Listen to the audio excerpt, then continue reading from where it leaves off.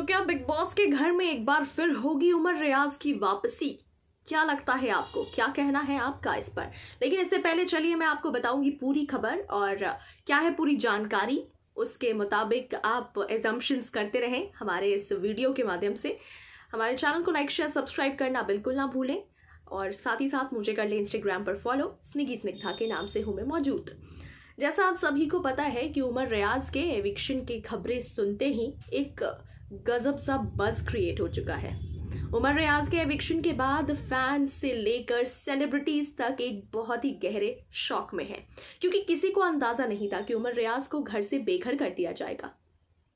हालाँकि इन खबरों पर कोई कंफर्मेशन भी अब तक नहीं है, क्योंकि वीकेंड का वार आज आप सभी देखेंगे एपिसोड तो आज देखने को मिलेगा, लेकिन उससे पहले जितने भी ट्वीट्स आ रहे हैं सामने, उन तमाम ट्वीट्स के हिसाब से ऐसा फाइनली कंफर्म लग रहा है कि उमर रियाज बिग बॉस के घर से बेघर हो चुके हैं।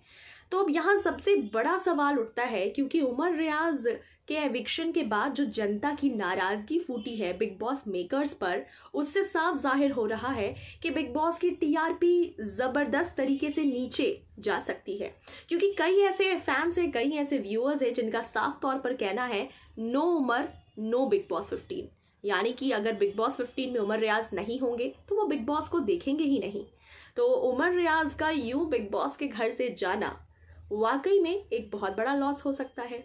हालाँकि उमर रियाज के भाई, जो उनके कज़न ब्रदर हैं नुमान, उनके भी ऐसे ही कुछ ट्वीट्स आए थे सामने कि बिग बॉस के घर से एविक्शन होना उमर रियाज का, उमर रियाज का लॉस नहीं है, बल्कि बिग बॉस का लॉस है।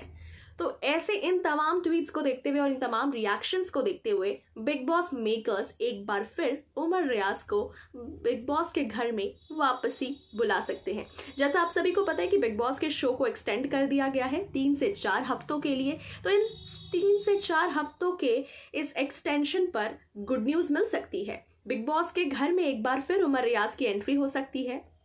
हालाँकि उमर रियाज के एक पोस्ट के हिसाब से भी जो उमर रियाज ने शेयर किया है the end of the journey doesn't means actually it's a beginning of another next one यानी कि ऐसा हो सकता है कि इट्स बिगनिंग जहाँ उन्होंने ये लिखा है कि यहीं पे ख़त्म नहीं होती है, बल्कि एक नई जर्नी की भी शुरुआत होती है।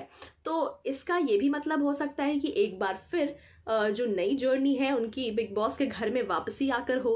और बिग बॉस मेकर्स एक बार फिर उमर रियाज को बुला लें। आफ्टर ऑल टीआरपी का मामला है। टीआरपी का सवाल है, क्योंकि उमर रियाज का एक बहुत बड़ा फैंडम है फ़ैन बेस है। उमर रियाज को लगातार सपोर्ट करने के लिए करण कुंद्रा के फैंस रश्मि देसाई के फैंस लगातार रूबीना दलाई के फैंस हर कोई सपोर्ट कर रहे थे। आसिम रियाज, हिमांशी खुराना के फैंस तो लगातार बहुत ऐसे सेलिब्रिटीज़ के फैंस थे जो कि उमर रियाज को सपोर्ट करने में लगे हुए थे।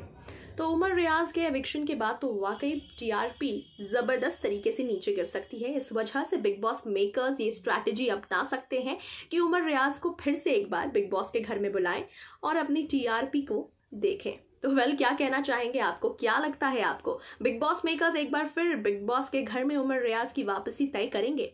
और वाकई आपको ये इस खबर पर अब विश्वास है कि उमर रियाज बिग बॉस के घर से बेघर हो चुके हैं।